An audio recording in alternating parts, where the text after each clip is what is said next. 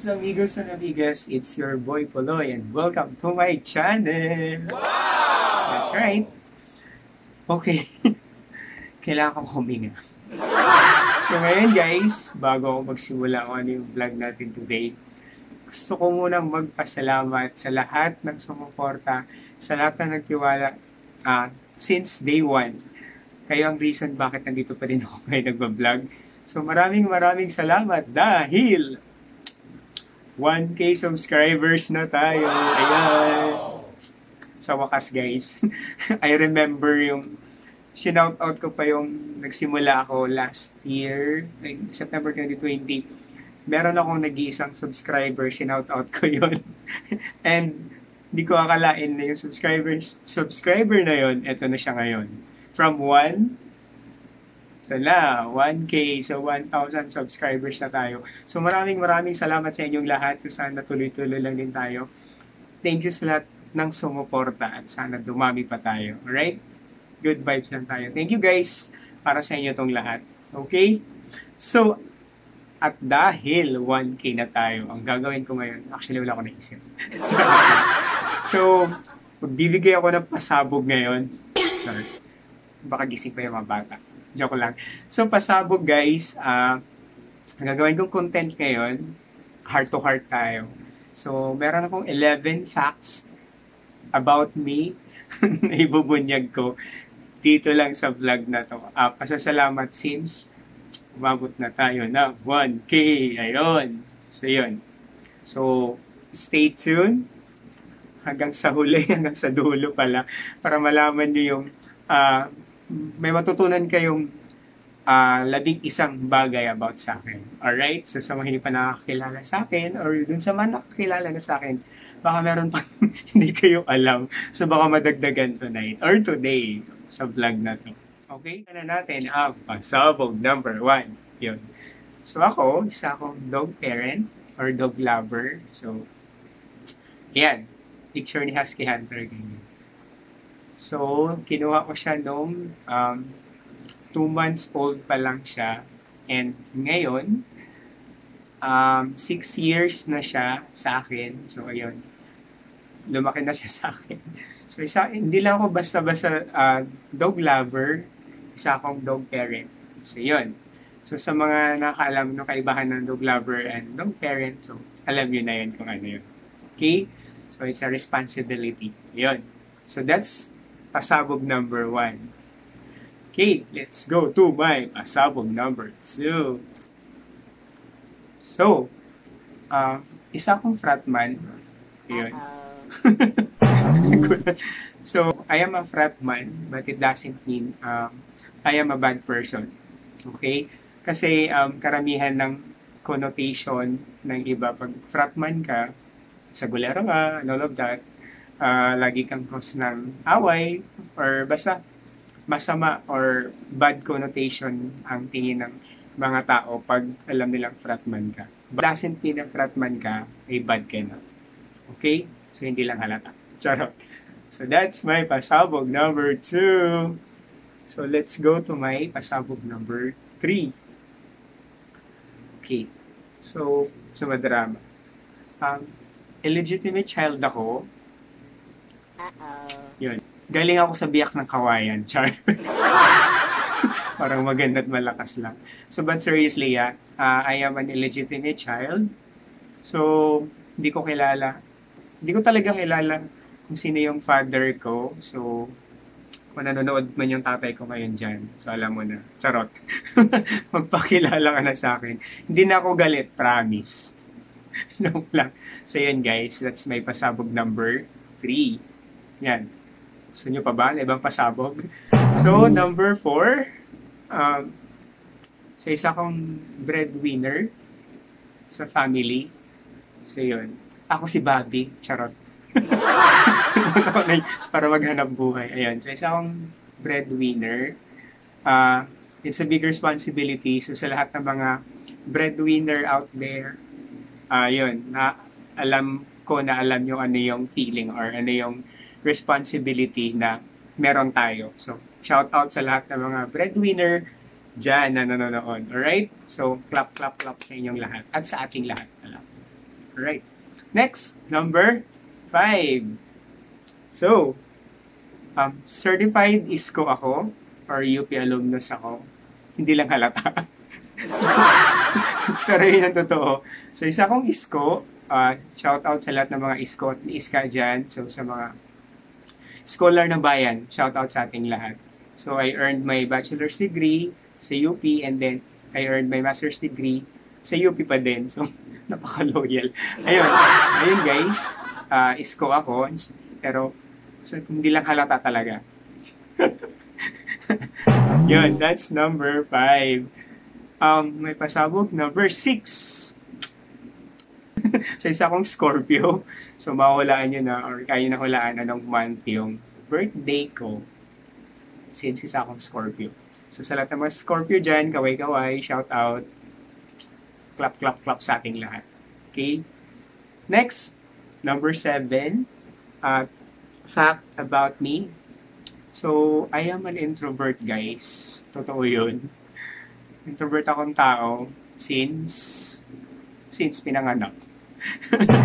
so, kaya isang malaking challenge for me na gumawa ng vlog tulad nito and magsalita sa inyo kasi nga isa akong introvert but it doesn't mean na hindi tayo pwedeng lumabas sa comfort uh, sa com- comfort zone natin para mag-explore ng ibang bagay. So, sa lahat ng mga introvert dyan na feeling nyo na uh, di nyo kaya magsalita out sa, sa harap ng maraming tao, or like me, gumagawa ng vlog, so kaya nating lumabas sa comfort zone natin at mag-explore na ibang bagay. Okay? So, it doesn't mean na introvert tayo, nasa sulok lang tayo, feeling alone. Right? So, shout out dyan sa lahat ng introvert na kagaya ko. Ito ngayon nagpa-vlog na. Dahil sa inyo. So, na-challenge ako kaya nag-vlog ako para patanayan ko na mga introvert ay kaya din mag-vlog. Hmm. Wow! Next, uh, number 8 na tayo. Apat na lang. so, isa akong open-minded. so, pwede nyo akong i-invite mag-coffee. Alam niyo na yon Power, ganon. So, open-minded ako guys in a way na, uh, yun, uh, naiintindihan ko. Uh, as much as possible, iniintindi ko lahat ng bagay mga pangyayari or what have you, yan, try kong iniintindihan. Kasi nga, open-minded ako. Hindi ako closed-minded. so yun, basta yun, i-invite ako mag-coffee kasi open-minded ako. yun, so let's go to my number 9 na pasabog. Dahil 1K na nga tayo. So, number 9, sa mga hindi nakakaalam, so, I speak Cebuano, Kinoodzong og jay. Kamaodzod ko mo Bisaya jay. Na. And ayo uh, waray. Hmm. Maaram gihap ak magwaray. So sa mga waray dida, shout out sa iyo nga tanan. And Tagalog. Siyempre, marunong ako mag-Tagalog, guys. So, nandito na ako ngayon sa Manila. So, nagtatagalog na ako. And of course, English, syempre, yan yung pangalawang uh, lingwahe natin, kumbaga, ng mga Pinoy. So I also speak English. I can understand English. I can comprehend English. So yun lang guys. Right? So imagine marunong mag-Cebuano, Waray, Tagalog, and English. Oh, talented. Char lang. So yun. Uh, that's number 9 fact about me. So number 10, ang number 10 ko ay, hmm, isa akong coffee lover. Yan, hindi lang ako basta-basta lover. Coffee lover din. so sa mga mahilig mag-coffee dyan, so alam niyo na kung sinong tatawagin. Sabi ko nga, invite niyo ako kasi open-minded na ako, coffee lover pa ako. So pwede tayo mag-usap over coffee. Yan. So siguro yung composition ng blood ko, 95% coffee, 5% lang yung blood. so yun. So may, may kung gusto ng coffee, meron kami binibentang coffee, PM nyo lang ako or comment down below kung gusto niyo yung coffee na yun. Ayun, so lahat ng coffee guys, uh, wala namang problema sa akin. Siyempre, kung lilibre niyo ako ng SB, char.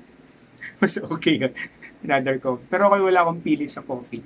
3-in-1 man yan or ano klaseng coffee, basta coffee. Kasi nga, coffee lover ako. That's number 10. So alam niyo na kung anong regalo sa akin. Pag bad mood ako, so alam niyo na. kape lang talaga. Kape lang yung katapat. Alright? So, and last but not the least, of course, number 11, ah, uh, 11 lang muna tayo. Pero marami pa akong gusto nyo malaman. so, I love to travel the world. So, yun guys. Um, gusto, gusto ko talagang bumiyahe sa iba't ibang bansa. Kasi gusto kong maka-experience or uh, ma-explore or ma-observe kung ano yung iba't ibang culture, ano yung uh, how other people live out uh, in other countries, mga ganun, iba-ibang kultura. Siyempre, iba't ibang bansa, iba't ibang kultura yan. So, yun, gusto kong ma-observe or maranasan kahit pa paano.